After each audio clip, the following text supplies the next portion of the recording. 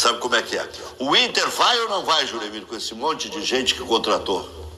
Olha, eu espero que sim. Pela primeira vez em muitos anos, eu tenho alguma expectativa. Agora, começa por saber se o técnico tem toda a bala na agulha que alguns dizem que tem.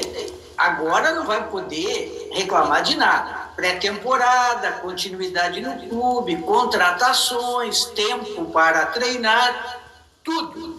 Então, se o Inter não der certo neste ano, eu acho que não vai dar mais para dizer que o treinador não teve as condições adequadas para trabalhar. Agora, ainda tem algumas dúvidas. Por exemplo, o Borré vem agora, vem depois ou nem vem? Porque ele ainda está lá, continua jogando lá e até o meio do ano tem muita água para rolar. Então essa é uma outra questão.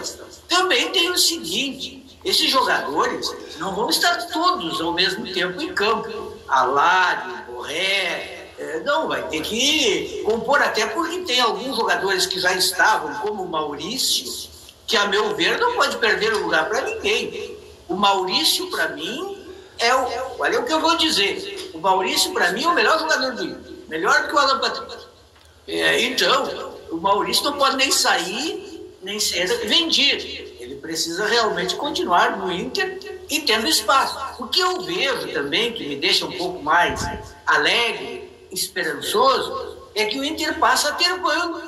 A contratação de jogadores me parece que não é só para ter titulares melhores, mas também para ter banco, porque o treinador do Inter gosta de mudar. Praticamente todo jogo, ali pelos 20, 25 do segundo tempo, ele muda. Só que ele não tinha muita gente qualificada para fazer essas mudanças. Mesmo assim, ele fazia.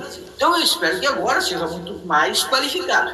Agora, espero também que o treinador do Inter seja mais corajoso. Eu continuo achando que ele foi muito pouco corajoso naquele famoso jogo do Inter contra o Fluminense lá no Rio de Janeiro. Quando o Inter estava melhor em campo, passou a ter um jogador a mais e eu esperava que naquele momento o Inter fosse para cima para tentar fazer mais um ou dois gols e voltar tranquilo para Porto Alegre. O treinador amarelou se acovardou, se acabelou, tirou os principais titulares, o Inter se encolheu, acabou tomando gol. E ali, a meu ver, o, a esperança de chegar à final desapareceu, porque o adversário estava por terra, era agredir e matar, mas não. O Inter, ah, não, ainda tem outro jogo, vamos deixar para o, vamos nos preservar para o jogo final e aí deu tudo errado. Então eu quero que o Cudê, neste ano, seja Cudê. Naquele jogo lá, era falar como falavam as más línguas, lá no Rio de Janeiro,